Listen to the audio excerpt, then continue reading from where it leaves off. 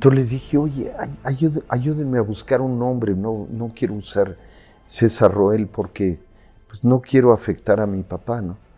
Entonces un día me dice Manuel, oye, pues ya tengo el nombre, César Costa. Le digo, oye, suena padrísimo, es corto, es eufónico. Le digo, ¿de dónde lo sacaste? Me dijo del disco de Polanca, aquí está, el arreglista es Don Costa. Entonces así nació mi nombre.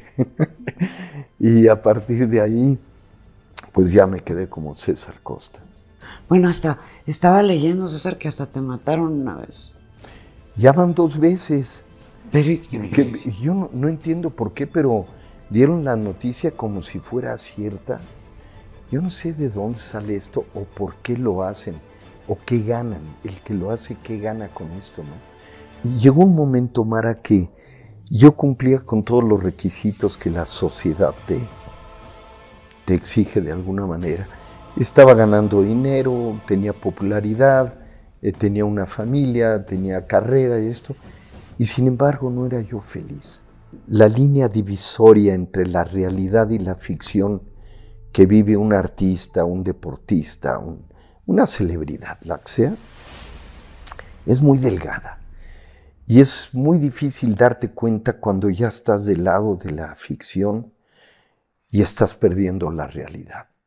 Bueno, pues hoy les quiero dar la bienvenida, no precisamente a Casa de Mara, pero me siento como en mi casa, porque estoy con una celebridad, un hombre que ha trabajado por años, que es un ídolo, un um, ícono de la época del rock and roll en México. Además es abogado, es actor, es productor, es conductor, eh, es parte de la UNICEF como embajador y también parte del consejo. Y es un hombre que ha trabajado incansablemente con una imagen limpia, una carrera maravillosa y un hombre con el que se puede platicar de todo. Y además estoy agradecidísima con él porque me recibió, me abrió las puertas de la casa, tanto a la producción como a mí, y yo le agradezco profundamente y siempre es un placer estar con una celebridad como César Costa. Bienvenido a tu casa, mi casa, la casa de todos. Gracias, César. Gracias. Nuestra casa. Nuestra casa. ¿eh? No, encantado de recibirte y este, no, te agradezco mucho esta oportunidad. Nos conocemos hace añísimos. Añísimos, tengo la este, fortuna. Tú eras muy chiquita, claro. Ni tanto. este, y, y encantado. Siempre contigo he tenido una relación muy especial, muy respetuosa, muy cariñosa. Así es que Feliz, feliz de estar contigo aquí en tu casa. No, yo muy agradecida, César, porque yo sé que no das entrevistas, que eh, siempre te mantienes como... Eh, el contacto que tú tienes con tu público es a través de tu trabajo. No es a través ni de escándalos ni de cosas. Pero bueno, a mí me gustaría comenzar por el principio, porque naciste aquí en el Distrito Federal y eh, tengo entendido que en la Condesa. ¿Cómo era la familia, los hermanos, las hermanas? Fíjate que nací, sí, este, en la colonia Condesa, en la calle de Cuautla, 34. Una casita pequeña, tenía seis metros de frente. Yo no sé cómo, éramos una familia acomodada porque nos acomodábamos muchos en la casa. Éramos cinco hombres y una mujer y todos cabíamos ahí en la casa, más las nanas. Entonces, en esa época, este, tenía yo mi nana, María Martínez se llamaba, y este, y la pasamos bomba, la verdad, este, fue una etapa muy feliz. Yo tuve una infancia eh, muy, muy, muy feliz. Nos íbamos caminando al colegio alemán por la calle, por la avenida de Mazatlán. Y este, ahí estudié hasta secundaria y ya después eh, entré al CUM y luego a la universidad, en fin. Pero mis primeros años ahí en la Condesa fueron maravillosos, realmente. ¿Y los hermanos, César? ¿Los papás? ¿Los papás? ¿Los hermanos? Bien, mira, mi, mi padre era un abogado muy reconocido, este, fue muy exitoso, por eso me cambié el nombre, para no quemarlo, porque, sí, porque somos, éramos homónimos y, y, el rock and roll no estaba muy bien visto en esa época, entonces por eso me cambié el nombre a César Costa. Mi mamá era concertista de violín, era una mujer pues extraordinaria, puedo decirlo. Yo creo que a ella le debo mi extraordinaria relación con la mujer. Este, yo me llevo muy bien con las mujeres, las quiero mucho, las respeto mucho, la paso muy bien con, las mujeres y yo creo que en gran medida se lo debo a mi madre. Este, somos cinco hombres y una mujer. Eh, éramos, mi hermana ya murió. ¿Es Adriana Roel? Karen. No, ¿verdad? ¿Perdón? Adriana Roel. No, fíjate qué curioso. Adriana nunca fue Roel. Ella, ella era, era hija de Luz María Puente y de Osorio, Juan José Osorio. Eh, los papás de, Jorge Federico Osorio, el, extraordinario pianista este, y a Jorge Federico lo, le tengo un enorme cariño, nos conocimos de niños. Es, es, un, gran, un, gran pianista. Y Adriana era, eh, vivía con ellos. Pero un día le pidieron a mi papá que si podría ella usar el nombre de Roel, el apellido. Y mi ¿Qué es tu apellido? Sí, que es el apellido normal. Y mi papá lo aceptó, no pudo decirles que no, ¿no? Y yo me lo quité. Entonces, por desgracia, no, Adriana no fue, no fue nada nuestra, ¿no? Pero era una querida amiga, gran actriz, ¿no? Y, pero tienes ascendencia de, tienes sangre extranjera. Sí, mi, madre, la familia de mi madre, mi abuela materna era alemana y mi abuelo paterno era este, belga, ¿no?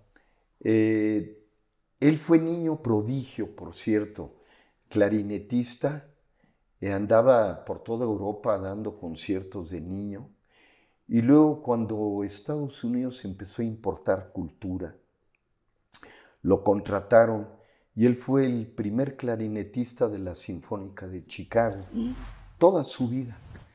Y después le hicieron, ahí murió siendo el primer clarinetista de, de, de la Sinfónica de Chicago, que es una de las mejores sinfónicas del mundo.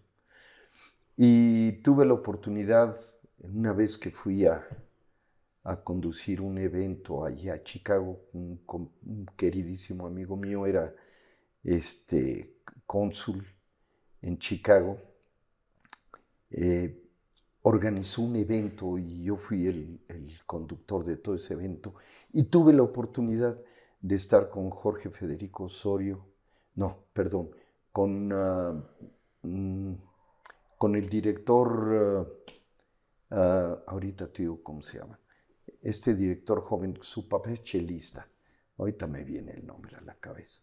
Y, ahí escuché a la Sinfónica de Chicago interpretando, este, porque era el 16 de septiembre, el himno nacional como nunca lo he escuchado, de una manera maravillosa. Y bueno, ahí le dije a la coordinadora de, de la Sinfónica que mi abuelo había sido clarinetista, entonces le dio mucho gusto y dijo que iba a buscarlo y todo eso. Y todavía mi mamá en vida la invitaron a Chicago a un concierto que le hicieron en homenaje a mi abuelo ya muerto, dejando su silla y un clarinete en, la silla mm. como homenaje. Así es que este, pues de ahí me viene la cuestión musical, sin duda. Pues sí, pero además me comentabas que no era como muy bien visto el rock and roll. ¿Cómo le hiciste para, y cómo descubres que era lo tuyo la música, que te gustaba el, rock and roll, y cómo lo platicas en tu familia, o, de qué pasó? Mira, mi, mi mamá con la cultura europea, que es muy sabia en ese sentido, a todos nos dio la oportunidad, a todos los hijos, de estudiar un instrumento, porque tenían muy arraigada la idea de que si tú tienes un instrumento, nunca te vas a morir de hambre, ¿no? Es un salvavidas en todo, en cualquier lugar habrá una orquesta, un conjunto, una forma de integrarte a una orquesta, en fin. Entonces, yo estudié piano a de los, creo, 12 a los 14 años. Y a los 14 años lo cambié por el violín y estudié violín con el maestro Ichilio Bredo a cuatro años. Este, entonces eso me dio un conocimiento de la música importante. Pero al, cuando ya la, la hormona se me empezó a alborotar con las muchachas, sacar un violín era muy incómodo y le picaba el ojo con el arco. Ay, no, bueno. Entonces opté por cambiar el violín por la guitarra y con la guitarra empecé a cantar canciones vernáculas mexicanas. Y poco a poco, cuando me di cuenta, este, me dieron oportunidad en un grupo, los Black Jeans, de dar una audición. Cuando nos cambiamos a la colonia Nápoles, mis padres, este, allí en la Palomilla había un muchacho, Carlos González Loftus, que tocaba el tinacordio. Acaba de morir Carlos, por cierto, hace un mes y medio más o menos. Este, mi más sentido pésame para la familia. Era, era el bajista y me dijo, oye, César, este, ¿quieres venir? Tenemos una audición, vamos a tocar en Radio Éxitos. Era. Claro. Vamos a dar una audición. En la parte de arriba había un, En núcleo radio. un salón En Insurgente. En artículo 123. No, te estoy hablando de la prehistoria. Y entonces, este, claro, estaba yo en primera fila. Entonces ahí estuvieron los rebeldes del rock, que tenían dos cantantes, Johnny Laboriel y Sammy. Sammy era güero güero y Johnny Laboriel no tanto. Y, Sí, y cuando salieron mi amigo Carlos eh, con su grupo, los Black Jeans, no traían cantante, era instrumental todo. Entonces terminado le dije, oye, pues yo quiero cantar, yo toco guitarra y, y canto, me gustaría participar con ustedes. Me dieron una audición, este, me aceptaron y ahí empezó todo, hasta ahorita. Pero, ¿y, y- tu papá y tu mamá qué dijeron? ¿O era escondidas? o- Mira, no, no, no, no, siempre me apoyaron. No, qué no, no, no, nunca tuve un problema en ese sentido. Este, recuerdo la parte, mi, padre cuando pudo, ya nos cambiamos a la Nápoles y era una casa grande. Este, y mi, mi madre ya, aparte del cuarteto que tenía, había creado la orquesta de cámara Vivaldi este, de puras mujeres. Entonces ella estaba en el piso de arriba y yo en el piso de abajo con los black jeans y les decíamos que eran las chicas del hit parade, imagínate. Entonces cada rato bajaba mi mamá y decía, oye, bájale un poquito al volumen. Claro, los instrumentos pues, sonaban durísimo. Y allí ensayamos y allí fueron dos años, dos años y medio eh, maravillosos con los camisas negras luego, que se, llam- se llamó el grupo. Y luego Costa, ¿por qué? Porque no quería yo llamarme igual que mi Roel. papá, Roel. Entonces eh, le dije a dos queridos amigos, uno era Martín de la Concha, que venía yo con él desde el colegio alemán, estábamos en prepa ya, y otro era Manuel Echeverría. Este, entonces les dije, oye, ay- ayúd- ayúdenme a buscar un nombre, no, no quiero usar César Roel porque pues, no quiero afectar a mi papá, ¿no? Entonces un día me dice Manuel, oye, pues ya tengo el nombre, César Costa. Le digo, oye, suena padrísimo, es corto, es eufónico. Le digo, ¿de dónde lo sacaste? Me dijo del disco de Polanca, aquí está, el arreglista es Don Costa. Entonces así nació mi nombre. y a partir de ahí, pues ya me quedé como César Costa. Y luego el camino ya en, como eh, en solitario, como solista, y este, y los famosos suéteres, Ya. que era el, el niño bueno, el chico bueno del Ahora te digo cómo nacen. Perdón, un, un pequeño lapsus. El, el director de la Orquesta Sinfónica de Chicago era Carlos Miguel Prieto, Mm. el hijo de Carlos Prieto, el chelista extraordinario, ¿no? ya nada más para llenar ese hue- huequito. Y entonces, la primera vez que me dicen, oye, este, pues, eh, vas a hacer televisión. Yo ya había grabado, había sido un éxito muy rápido la, grabación de Mi pueblo y Amor Loco. Y me dijo, me, dijo el productor Paco de la Barrera, pues búscate un smoking o algo para la televisión. Yo dije, ¿qué es eso? ¿Qué es un smoking? Entonces mi otro amigo Martín de la Concha me dijo, oye, yo tengo un suéter padrísimo que me trajo un tío para esquiar en nieve en Suiza. Este, y le digo, ¿qué tiene que ver el suéter con Suiza con México, que es la eterna primavera? Entonces me dijo, este, pruébate hombre. Y yo era, siempre he sido muy conservador para vestirme, pero me convenció y es el suéter que sigo usando hasta la fecha, que es amarillo clarito con una franja aquí, unas grecas negras. Lo usé y tuvo un éxito extraordinario.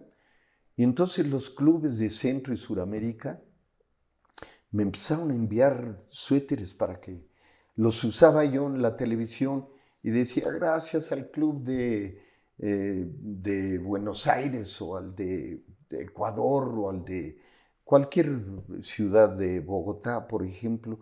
Y entonces me mandaban dos más y tres más y así, ¿no? Entonces fui haciendo una colección grande de suéteres. Me, comentaba en alguna ocasión, ahora que mencionaste a Polanca, eh, Juan Calderón, que en ese tiempo era, creo que, eh, promotor de disqueras y traía los cantantes. Claro. Y entonces que llevó a Polanca y Polanca se sorprendió cuando escuchó sus éxitos en español en tu voz. ¿Cómo fue este proceso de hacer el crossover que se utilizaba antes, la palabra, y que ahora ya... Claro. Mira, eh, cuando, me dieron el primer disco, Paco de la Barrera, fuimos con Gustavo Pimentel para que me tomara tonos y me dijeron, hazle la letra. Pues, me puse a hacer la letra de mi pueblo. Y, y ya después del éxito, dos, tres éxitos de, de canciones de Paul, un día llega a casa de mis papás un abogado a demandarme. Entonces me dijo, oiga, pues lo vengo a demandar. Ah, caray, pues, ¿de qué se trata, no? Pues es que usted está grabando las canciones de Polanca y este, y, sin autorización. Le dije, mire, yo ya estaba en leyes, ya estaba en segundo de leyes. Le dije, mire, este, yo creo que usted debería de demandar a las editoras de música, porque son las que me dan las canciones para grabar y me dan la autorización. Pero dígale a Paul que yo creo que le estoy haciendo ganar mucho dinero con la venta de regalías, porque él en su idioma no podría entrar en Centro y Suramérica. Este, ya se despidió, se fue, y a las como ¿qué sería un mes, mes y medio? Me habló Polanca para saludarme y para invitarme que fuera a verlo aún. Estaba, él estaba apenas haciendo pasarse de, de la televisión al centro nocturno en Nueva York, en el Hotel Americana, me acuerdo. Me invitó a un show que tenía. Entonces fui y ahí nos conocimos y me empezó a mandar canciones inéditas ya para que las grabara yo, porque se dio cuenta pues, que las regalías eran importantes y que él efectivamente no podía, no podría haber entrado en estos mercados. Y hemos tenido una relación de muchos años, no hay una amistad cercana así, pero cada vez que nos vemos este, es muy cariñoso conmigo, muy generoso. Cuando llega a México me habla este, una vez me invitó a cantar mi pueblo. Este, nos subimos en una silla, estamos, él estaba haciendo un concierto a beneficio y entonces me dijo, aquí estás, César Costa. Y, eh, yo soy el, eh, dijo, César Costa canadiense y Polanca mexicano. Entonces nos subimos en las sillas de una de las mesas y nos pusimos a cantar ahí, yo mi pueblo, la parte en español y él en inglés. Y fue un evento padrísimo. Entonces, esa ha sido la historia con él. Luego fue muy generoso, lo, le hice dos programas de un nuevo día, no, de un día en la vida de. me acuerdo esa era otra serie, con, en Las Vegas. Grabamos todo su show y luego me dio dos horas de entrevista. Padrísimo, muy bien. Este, fue una muy buena relación. Es una buena relación. Ahora, la consecuencia inmediata en, en esos tiempos, cuando los cantantes eh, tenían un gran éxito en la radio, la consecuencia directa era el cine. Sí, sí, porque, pero fíjate qué curioso. la, la, cadena era esto, primero la radio. Era importantísimo. Y bueno, las giras que hacía yo en toda la República, ¿no?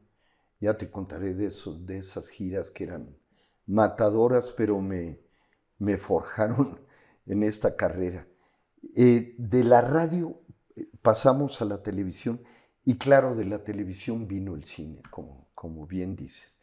Y entonces me empezaron a llamar para el cine y, acepté hacer una, una, actuación especial en una película Juventud Rebelde, creo que se llamó, ¿no? Y canté una canción, Canta, Canta, por cierto, con mi suéter. Y de ahí me empezaron a llover propuestas. Y dije, no, no, no, esto no lo quiero hacer. quiero entrar al cine en serio. Cuando me ofrezcan un papel este, estelar, con mucho gusto lo acepto. Y entonces Oscar Brooks, el, productor que me lanzó, este, entendió mi llamado, me invitó y mi primera película fue ya con Libertad Lamarque, ¿no? Alternando con ella. Sí, padrísimo, una experiencia maravillosa. Y ahí fue mi inicio en el cine. Pero fueron varias películas. Yo me acuerdo mucho de la de Patricia Conde, Dile que la quiero. Dile que la quiero, sí. Bueno, de la canción de la historia de Tommy, de ahí surgió de tal éxito de la canción, fíjate. Hicieron la película, esa la dirigió Fernando Cortés. Y estaba yo con, sí, con, con con Patti Conde, lindísima compañera. Y muy bonita. Muy buena actriz. Este, fue, una, fue una experiencia padrísima para mí. Para eso ya me metía yo a, desde que me llamaron para la primera, con Libertad Lamarque, me metí a tomar clases de, de actuación y a saber qué era el cine. Porque he sido buen discípulo, Mara, en todo. Sí, sí. yo aprendo, me encanta aprender, caray. Yo aprendo de todo lo que pueda y este, entonces aprendí eh, pues los principios básicos de la actuación, al menos para no verme acartonado y estar natural. Y ya hice 14 películas a lo largo de mi carrera. Fui productor, tuve una compañía que se llamó Costa Films. Este, ahí hice como 6, 7 películas. Mm. Eh. ¿Y cuáles son los éxitos musicales que, que no te hubiera gustado cantar, pero que fue un éxito? Híjole, es, es difícil la pregunta porque, porque,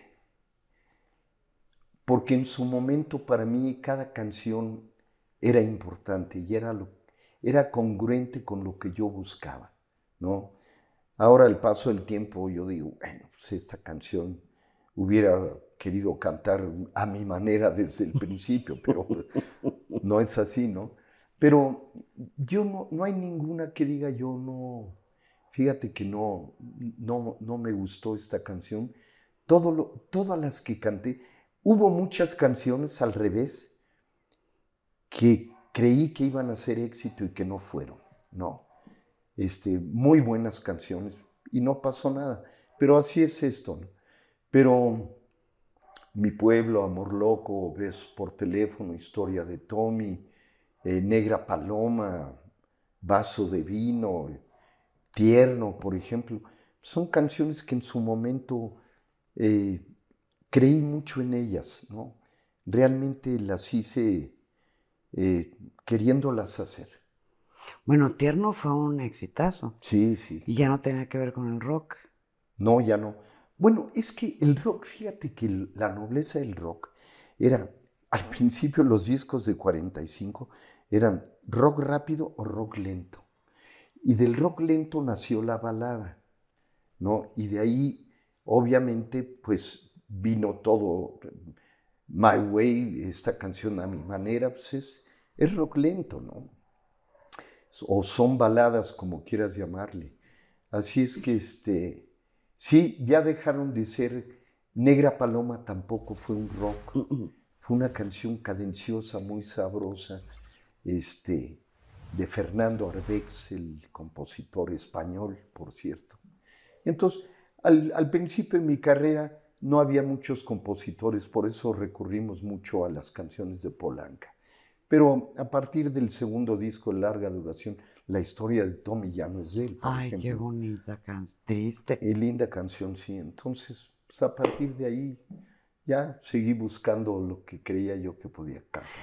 Aparte el rock era como un movimiento, digamos, redondo, porque era baile, se bailaba, era, eh, era parte del cine, era, había muchos jóvenes intérpretes en, en ese tiempo, Angélica María, Enrique Guzmán, o sea, son como personajes claves, pero eh, algunos ya no siguieron cantando, otros eh, en fin, diversificaron su carrera o de plano desaparecieron. En tu caso, tú continúas y, todavía en el cine hiciste el doblaje de, mm, South Park, hiciste doblaje de la película Coco, o sea, has estado en el cine ahí. Sí, a mí el cine me, encanta. Ya no, ya no pude continuar tanto porque el cine tiene otros tiempos, ¿no? Yo, yo, lo mío era muy inmediato, era este, tenía gira en, por ejemplo, en Guayaquil o en, Ecuador o en Bogotá, en Colombia, donde fuera. Entonces era inmediato ir a estadios, cantar y regresaba. Las películas me tomaban mucho tiempo, la preproducción, la producción y luego la postproducción, ¿no? A mí me encantaba porque yo hacía los trailers de mis películas me, sentaba con, mi, con el editor y hacíamos, yo escribía los trailers y los, los, este, los cortaba y los afinaba y los sacaba. Era muy divertido. A mí el cine me encantó, me encanta. Ahora bien, la transición, que platicábamos antes de, de comenzar la entrevista, no es fácil. Eh, de una época de en blanco y negro y luego ir creciendo con los años, estar vigente y esa vigencia de alguna manera tuvo que ver con la televisión, programas que son eh, clásicos de la televisión mexicana, que se fueron al extranjero como La Carabina de Ambrosio, Un Nuevo Día, las conducciones en Siempre el Domingo. Papá soltero. Un papá soltero, que ya es actuación en televisión, eh, que nos moríamos de risa con Chabelo en Pujitos, en fin. Eh, ¿cómo, ¿Cómo fue esa transición y cómo elegías qué trabajo ibas a hacer en televisión? Mira, yo, yo, yo, yo procuraba siempre, fui, de alguna manera fui coproductor en muchos de los programas. Eh, me acuerdo, por ejemplo, con, con Humberto Navarro, que eh, tuve una relación de gran amistad al principio con él, ¿no? Era un gran productor. Y entonces un día le dije, oye Humberto, este, ¿sabes qué? Quiero, quiero, quiero hacer un programa en el cual yo sea el patiño. Me dice, ¿cómo el patiño? Sí, el, el eje, pero el patiño para que se luzcan diferentes artistas. Entonces fuimos trabajando la idea y dimos con, con la idea de la carabina Ambrosio, ¿no? Ya habíamos hecho varias cosas juntos, él y yo. Pero esa yo creo que concretó un poco todo lo que veníamos haciendo. Entonces, este, bueno, el tener ahí un elenco como Alejandro Suárez, este, Chabelo, eh, Ofelia Guilmain y todos los que participaban eran buenísimos, caray, la verdad. Y yo aprendía de ellos, de, ver cómo lo hacían y, yo aportaba lo mejor de mí mismo, ¿no? Entonces yo participaba mucho también en, la, en, el, en, en, los formatos de mis, de mis programas. ¿no? Yo me metía como productora afinarlos y a, arreglarlos y, y, bueno, y también participar como conductor, ¿no? Sí, porque además como conductor, bueno, eh, has tenido grandes éxitos como conductor. Sí, sí, he, no, he sido muy, suertudo, mi querida mamá. Muy suertudo, he, sido privilegiado. Bueno, he tenido mucha, pero mucha suerte también. he tenido oportunidades que me han permitido hacer lo que he querido y poder escoger los programas que, en los que yo me sentiría útil o que podía aportar algo. Yo creo que por eso eh, programas como estos funcionaron muy bien, ¿no? porque logramos hacer un equipo de gente muy, muy cercano, muy íntimo, muy con una misma idea. Papá Soltero fue lo mismo, ¿no? Es decir, los, tanto Gerardo Quirós como Luis Mario, como Edith Márquez. Pocholo. Pocholo, Gumara, no, bueno, no se diga, este, todo, todo, todo el equipo éramos una gran familia realmente, ¿no? Y, eso se traduce en la pantalla, eso se siente. Ahora, había planes, me había comentado Jerry Quiroz, que tenían planes de hacer eh, Papá Soltero con sus debidas modificaciones de nuevo para, para, la televisión, para Televisa. Y luego había comentado Jerry que lo iban a hacer en teatro. ¿En qué va todo mira, eso? Hay, hay, hay proyectos eh, la televisión parece que no, que no, no, este, no les interesó.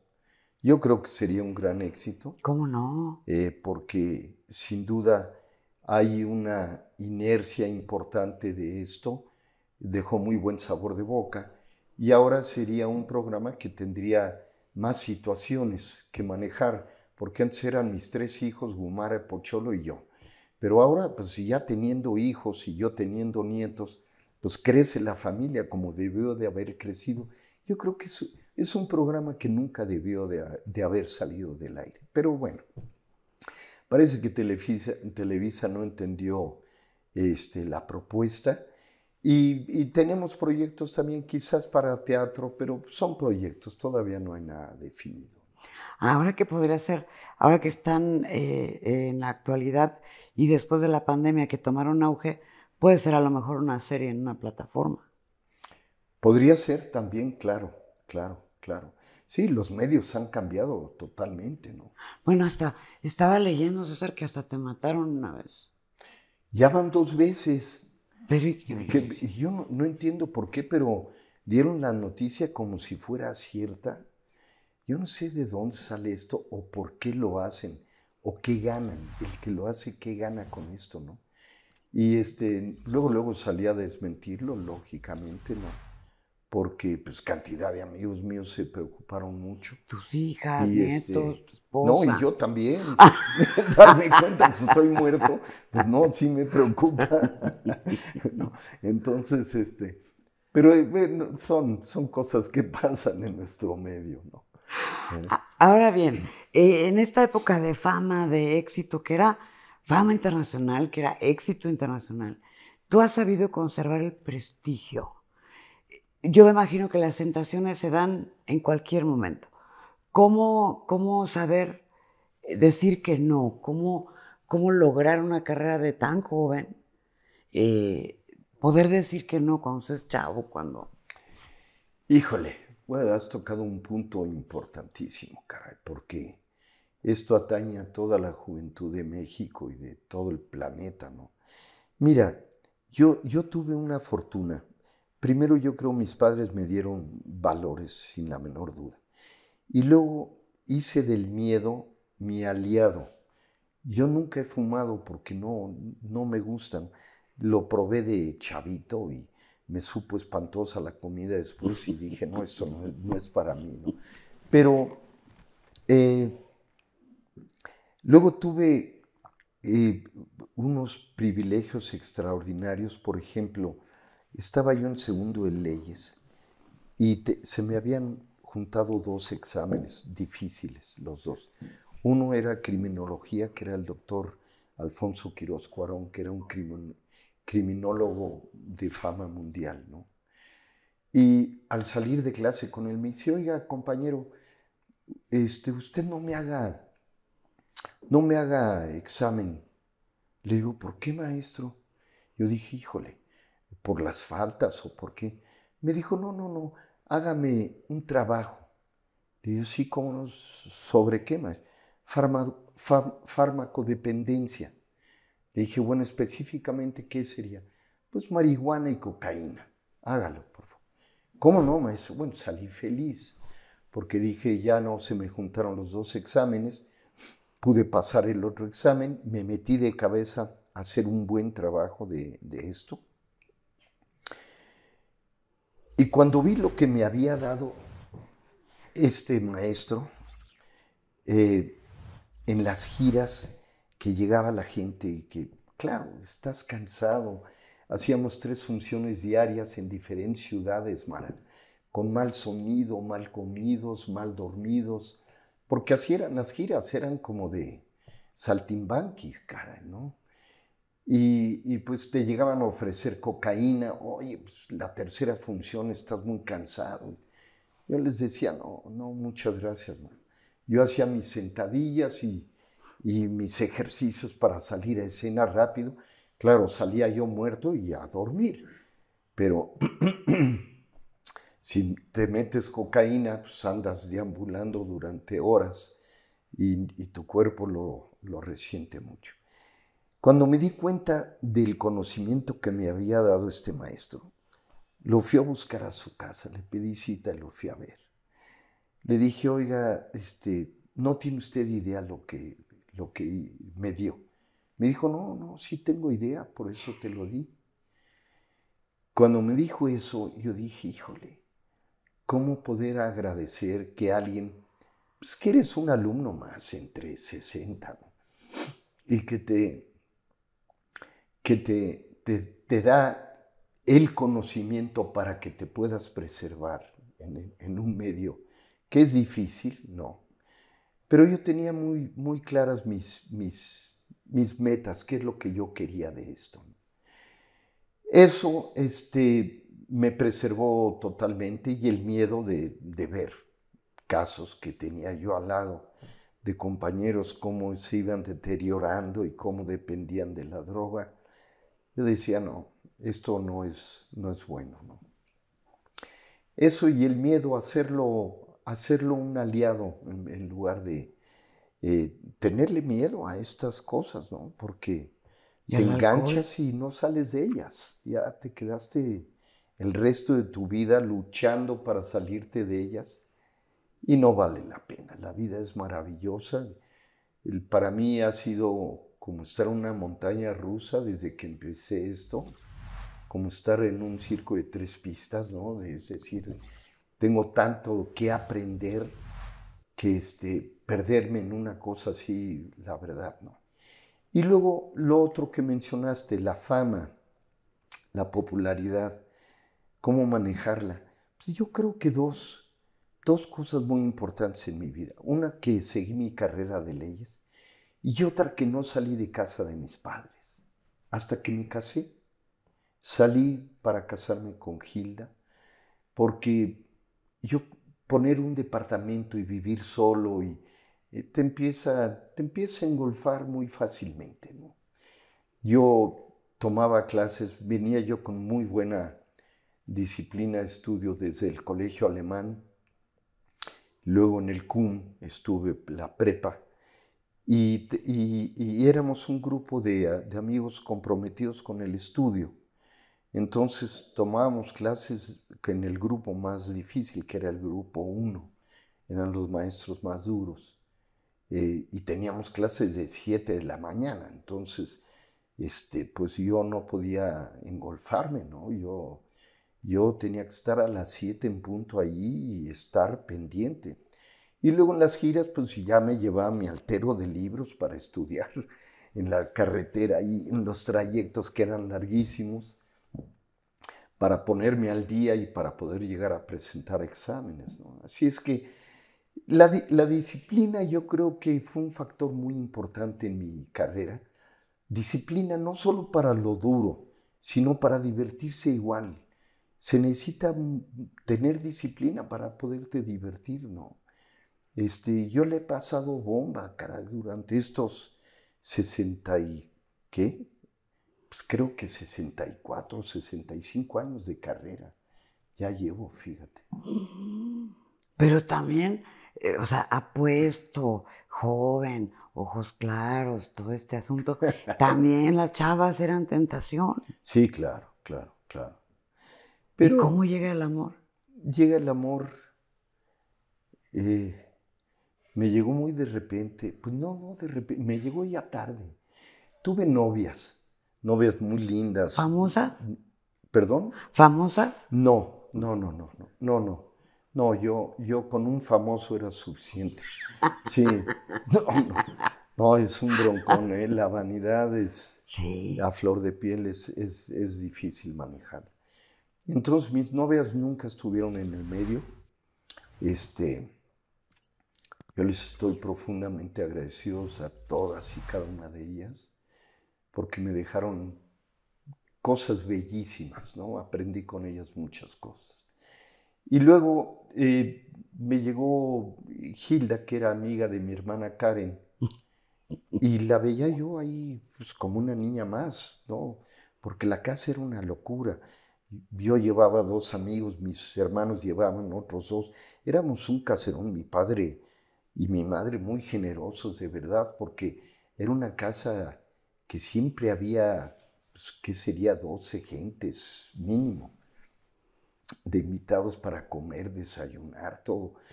Y, era un gran centro de reunión. Y entonces Hilda era amiga de mi hermana Karen y la veía yo como una niñita más, ¿no?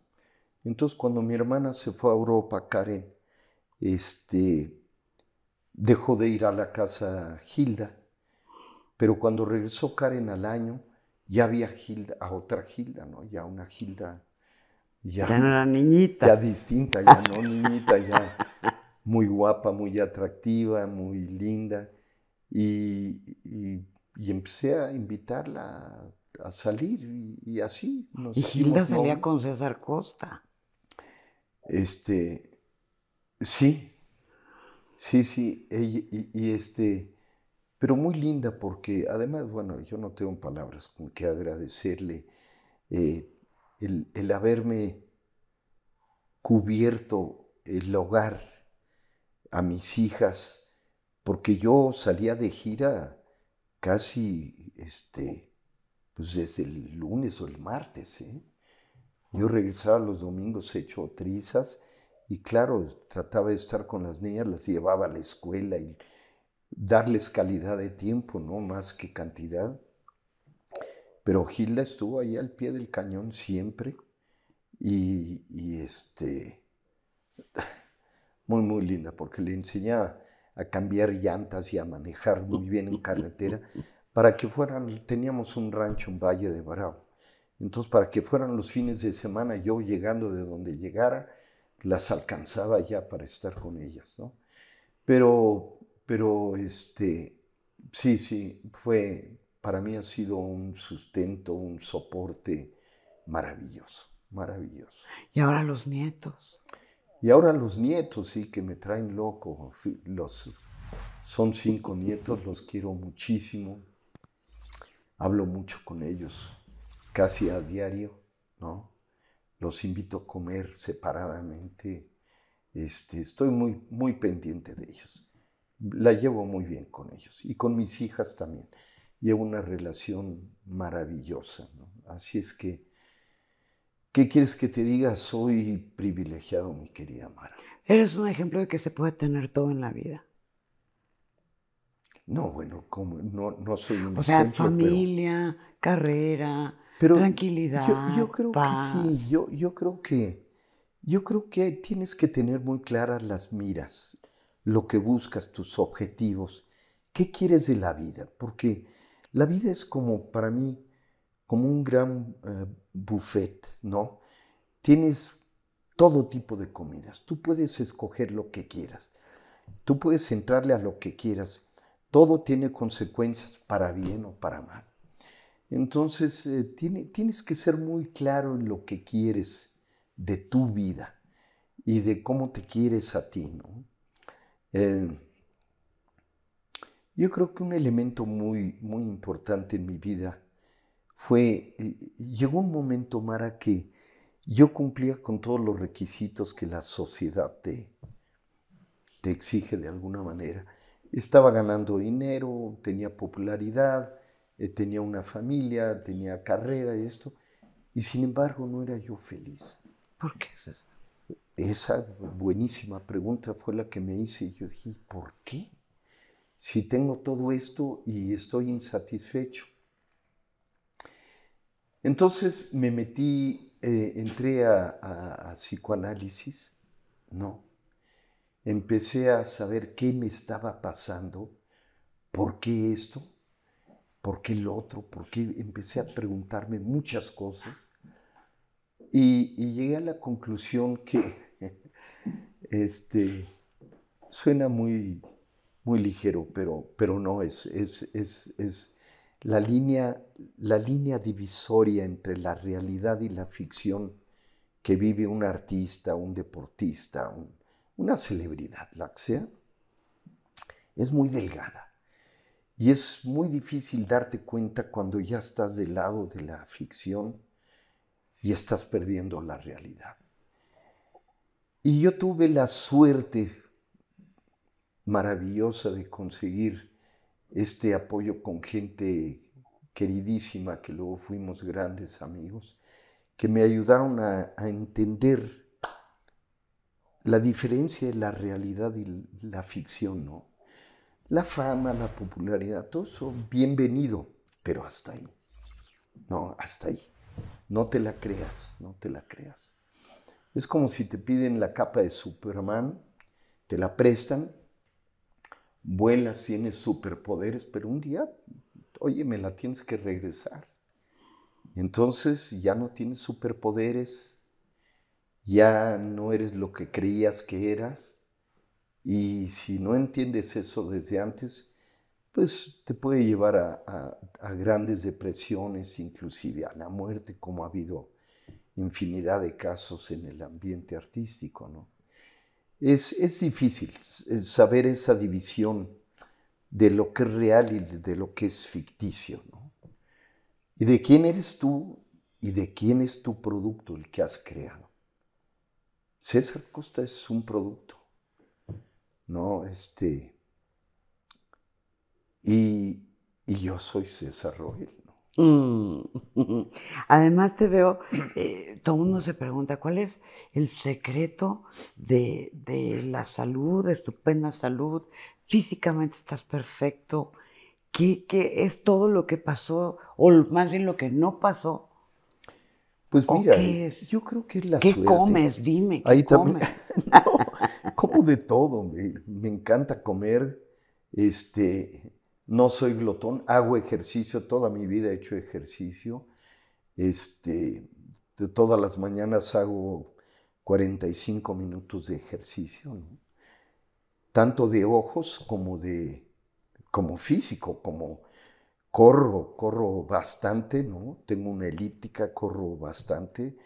Este, y, y yo usaba lentes para leer y me los quité haciendo ejercicios de la vista. ¿Cómo crees?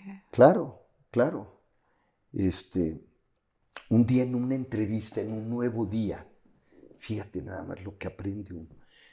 Este, no recuerdo el nombre de esta persona, pero uno de los grandes ejecutivos de Nestlé en esa época, y escribió un libro de cómo mantenerse joven. Entonces llegó y me dijo, este, ya estaba grande, me dijo, abra la página donde quiera, le leo. Le digo, no, pues se lo sabe de memoria el libro, ¿no? me dijo, no, ¿cómo? Mejor todavía, ¿no? Pues sí, le digo, tiene razón. Entonces le dije, bueno, ¿y cómo ha logrado mantenerse así con una buena vista? Muy sencillo. Diario hago 25 ejercicios con la vista hacia arriba 25 para abajo, 25 a la derecha, 25 a la izquierda, 25 girándolos y 25 girándolos a la izquierda. Diario. Y me quité los lentes y sigo leyendo el periódico sin, necesidad de lentes. Este, algún día los necesitaré, estoy seguro. Uy, pero. Pero, este, pero he, he podido mantenerme sano y luego Gilda cuidado mucho, comemos muy sano en la casa.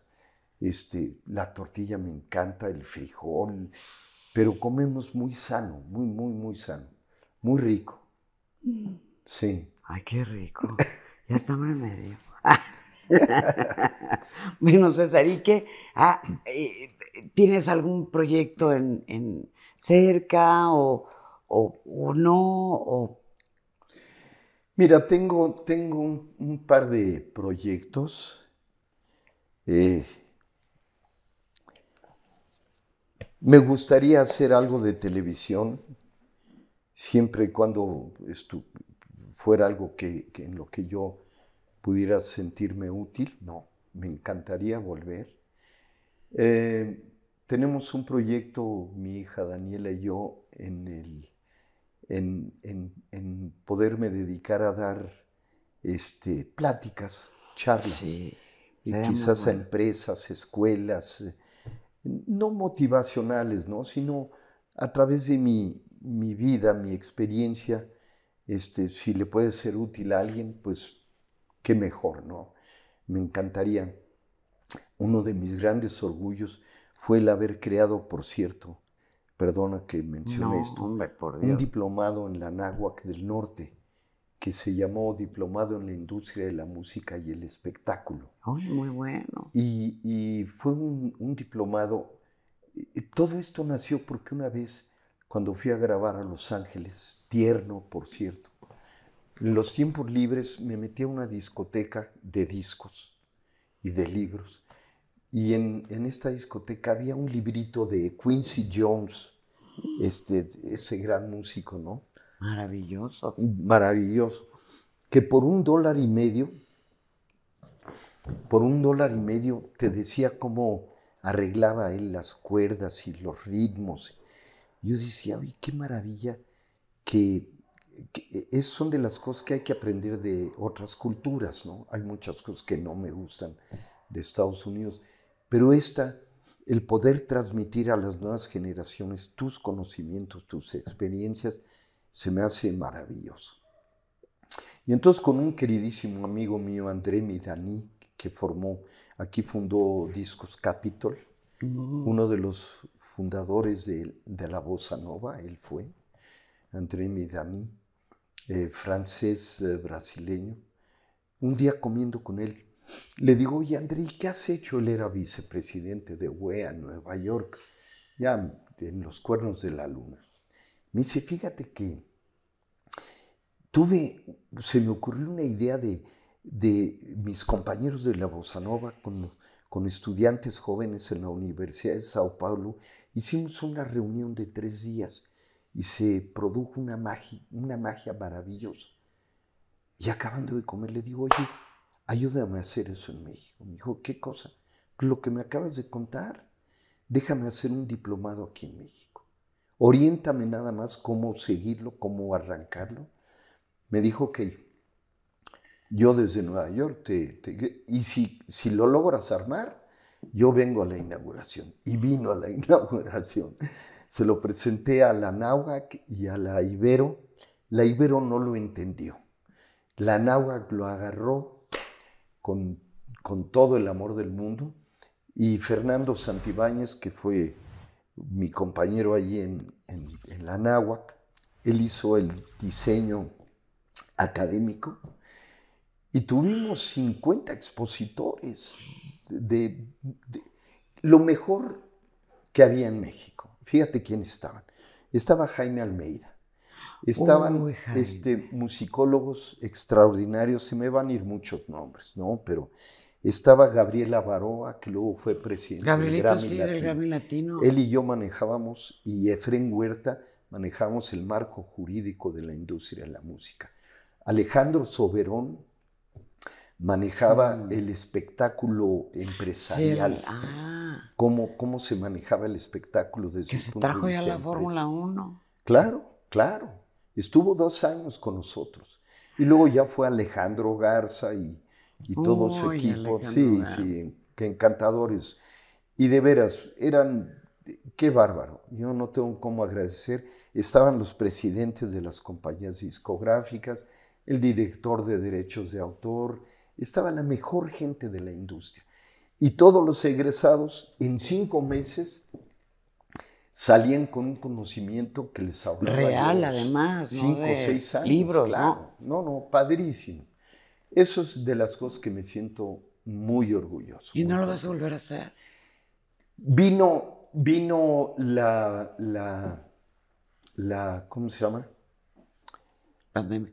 El, no, antes de la pandemia, duramos siete años en, el, en, en la náhuatl. Pero vino el contrabando de canciones y todo ah, esto. ya, la, piratería. Toda la piratería. Las industrias cambiaron totalmente. Totalmente.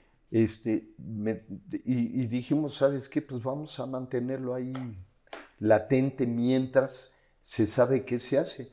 Ya, pero ya las últimas clases decíamos, ya no va a haber soporte mecánico, ya no va a haber discos, no va a haber cassette, no va a haber LPs, no va, todos son derechos, vas a bajar derechos del, de la nube, ¿no? Spotify. Y ahí este, los, los principales, este, teníamos gente preparadísima, chavitas, muy brillantes que sabían el manejo del Spotify y todo esto. Así salieron muy bien preparados los alumnos. Y bueno, es algo que yo hubiera querido tener cuando yo empecé. Claro, pero... Pero no había en dónde aprender, ¿no? En cambio, ahora este, pues ya hay la posibilidad de eso. Bueno, eso fue lo que hicimos. Ay, César, no sabes qué gusto me da verte, verte tan bien, con, con cosas todavía, proyectos que, que sería buenísimo escucharte platicar. Sí, sí, sí, sí, claro. Cuando se concrete alguno, yo te, llamo encantado y lo platicamos porque hay tanto por hacer y sobre todo estamos viviendo momentos muy difíciles en México, en todo el mundo. Este, y yo creo que es cuando más debe de haber este tipo de comunicación directa, personal, íntima, este, con los pies en la tierra, ¿no? César, algo que quieras agregar, que le quieras decir a tus seguidores, ahora, claro. ahora ya no son fans, ahora son seguidores, son followers. claro, claro. Pues decirte, Mara, que te agradezco mucho la oportunidad que me das de poder platicar con, con amigos, pues de cosas que generalmente no platica uno, ¿no? Me siento como en casa de Mara, así es que este, te agradezco muchísimo que me hayas dado esta oportunidad un saludo muy cariñoso y espero vernos pronto, ya sea en conciertos, este, a través de la televisión, a través de canciones, en fin, de lo que sea. Gracias. Y gracias a ti, César, por abrir una puerta de tu casa. Encantado, encantado. Ya nos veremos pronto con buenas noticias, claro. nuevas cosas. Órale. Muchas gracias. A ti. César Costa aquí en Casa de Mara, pero estamos en casa de César Costa. Gracias. Hasta la próxima.